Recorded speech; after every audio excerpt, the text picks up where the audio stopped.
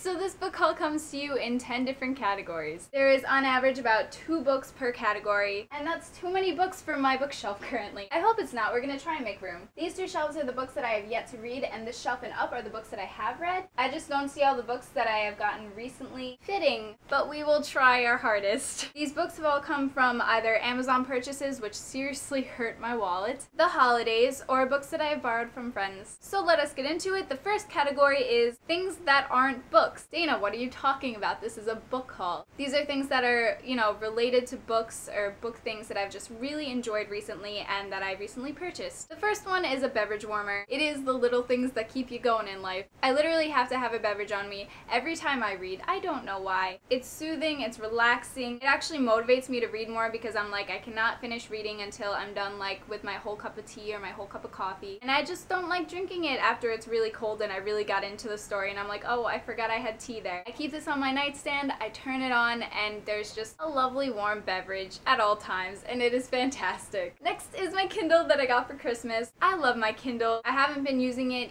yet, like super recently all the time. I'm still trying to get used to it, but it is nice because you only need one hand, so you can have your tea or coffee in the other hand and stuff, and you can also highlight stuff, and you can do so much. You can see what everybody else highlighted. There's a dictionary in it, which is so nice for me because I always look up words while I'm reading. I don't remember remember what it's called, but it's like the Kindle with the paper and the thing. You could read it in the dark without a book light, and it's just wonderful. And the best part about it for me is I'm going back to school really, really soon after the 28th. I go from 8 to 3.15, and I'm going to have an hour and a half break between classes, so that's going to be quality reading time, and this will be way easier to carry in my backpack than a load of books. Second category, books that I've already read, but I wanted to purchase. The first one you saw in my December wrap-ups video, and that is Nine Stories by J.D. Salinger. I absolutely loved this book and I borrowed it from a friend so I wasn't able to, you know, reread it if I wanted to and now I'm able to and I definitely will be rereading it because I absolutely love every single story in here. I can't wait to underline things in my own copy. The other one in this category is Dreamland by Sarah Dessen. I had to read this for school and it was amazing. I just really, really enjoyed this book. I took an afternoon and I just read through the entire thing. My mom came in to check on me and tears were dripping from my face. It touched me so personally and at the time I related to it so well. Not the boyfriend abuse thing, but just the relations with the sister and the mom and all those things. I just, it really got to my core and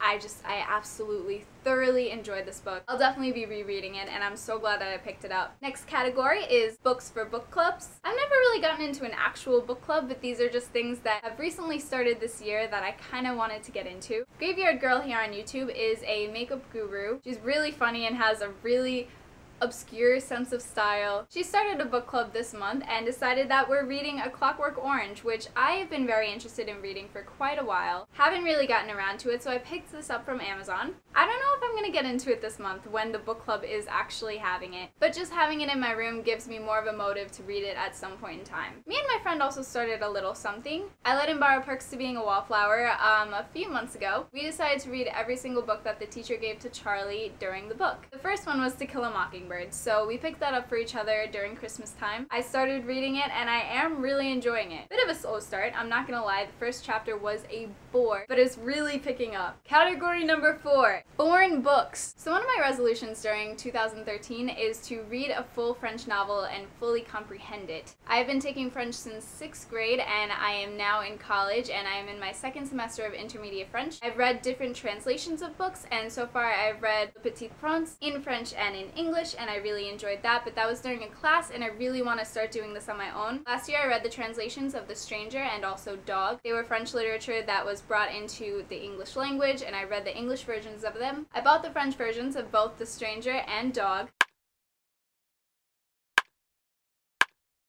I'm going to read along with my English copies and try and read the French copies and hopefully fully comprehend a novel by the end of 2013. Things are happening. Category number five, Scott's Pilgrim. I've wanted to read the Scott Pilgrim graphic novels for quite a while. Finally got around to purchasing them for myself. I purchased volume one, read it, so far, I am in love, and I still need to read Volume 2, which I also purchased, and I know that I'm already gonna have to buy 3 through 6 at some point because I'm really enjoying them a lot. Category 6 Charles Bukowski. I have heard only good things about this author, and I'm I'm not gonna lie, I don't really know much about him, but I'm very excited to read his work, and hopefully I'll get to it very soon. I picked up Post Office and also Ham on Rye. I didn't pick them up actually, I got them for Christmas. I cannot wait to delve into them and see what this author has to offer. Category 7. Can I just call this one? I'm gonna call this one books that I've been meaning to read for years now. The first one is Boy in the Striped Pajamas. I have just, I've heard nothing but good things. This has been talked about, this has been raved about. Also, there's a movie, and I love reading the book and then seeing the movie and seeing how they relate and how they are not connected whatsoever. What else? I, I'm just excited. The Book Thief is also in this category. Many people have said that this is their absolute all-time favorite book. I feel like I'm going to end up saying the same things. I've been interested in reading this since like freshman year in high school. So excited. Category 8 Books that I have borrowed. The first one is Delirium. I've read this already, put it in my December wrap-up slash favorites. It was really good. I really enjoyed it. I bought Pandemonium on my Kindle. Can't wait to read that one. I borrowed this from one of my coworkers and it was just nice. It was really nice. The second one I have not read yet and it is A Heartbreaking Work of Staggering Genius. Another coworker let me borrow this one. She said that it wasn't her favorite book, but it is about a college student that's like learning about life she said that it was an out of the box kind of a book and that I might really enjoy it. She knows me, I love out of the box sort of books. I'm hoping to see um, some shock value in this and I'm very excited to start picking it up, which I'm sure I'll do soon because whenever I borrow a book, I want to give it back as fast as I can. So I really try and read those books first. Category 9 Stephen King. Ever since The Shining, which I read in, I think I finished it in November. I have been craving more Stephen King books. The Shining just got to me. It was really, really creepy and it made you just feel things inside of your head and it just, it crawled inside of your head and it was just I wanted more. I picked up It from Amazon. I'm very angry about this cover. Amazon told me it was going to be a different cover, and usually I really don't care about covers. Like, oh yes, one cover is more beautiful than the other, but you are reading the same book. I'm just angry because the other one was a lot prettier, but whatever. This book is a monster. It is It the clown one. A lot of people are scared of clowns. I am not. I'm hoping to set apart a large amount of time to read this monster of a book. I don't think I've read a book with a thousand pages in it since Harry Potter. By the end of it, I'm hoping to be scared of clowns. I also picked up Carrie from Amazon because they are redoing the film in March. There is a 1970s film about it, and I have not seen that one yet either. I'm sure I'll watch that one before the next film comes out. This one is very short, and if I'm not mistaken, I believe it's his first novel? I don't know. It came before The Shining, I know that. The story sounds very, very interesting. Third book that I picked up was Misery. I'm not gonna lie to you, I don't remember what it's about. Let's take a look. Paul Sheldon, author of a best-selling series of historical romances, wakes up one winter day in a strange place, a secluded farmhouse in Colorado. He wakes up to an unspeakable pain, a dislocated pelvis, a crushed knee, two shattered legs, and to a bizarre greeting from a woman who has saved his life. I'm your number one fan. Excited. Last category, category number 10, the other category. These are things that I couldn't really put in a category. Really, they're just there because they're books that I wanted to buy and so I bought them. Or they were books that were given to me that I really, really, really wanted. This one is called The Farm. It is about uh, humans that are put on a farm and basically their blood is used like cow's milk is used. Apparently they all turn on each other at some point and it sounds really good and it sounds kind of frightening and very dehumanizing, which is something that I find very scary. Also, it's a young adult horror novel, which I have yet to read one of those. World War Z, super excited about this. You know why? Because the movie is coming out in June.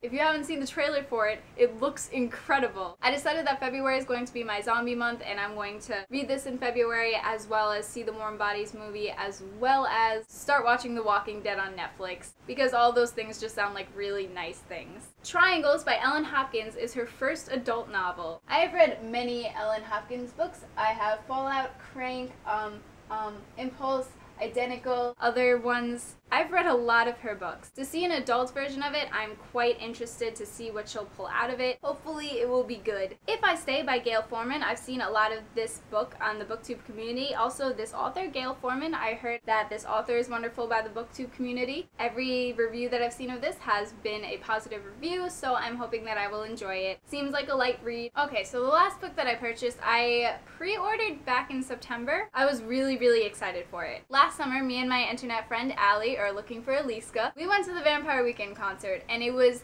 amazing. They played at the Pitchfork Music Festival, and there there was just a whole bunch of tents of nice homemade things. A publishing company was there. They were called Curbside Splendor, and ever since I saw them there, I've been looking through their website and sort of seeing what they're up to. This monster, The Way We Sleep, was an anthology that they were working on, and it came out this December. I think December 16th they gave it out to me, and everyone else that ordered it, obviously. I've been keeping it by my bedside, and it's basically an anthology of a hundred billion different people. Not really, just like 20 something. But it's all just stories about sleeping and the way that people sleep, and it's so interesting. Not only is there stories, there's also comics. It is one of the loveliest books that I've ever purchased, I think, and I only got it for like $16. This huge monster for $16, and there's so much product in it. I've been enjoying it so much. I've been reading a little bit of it every night or every morning when I wake up. So good!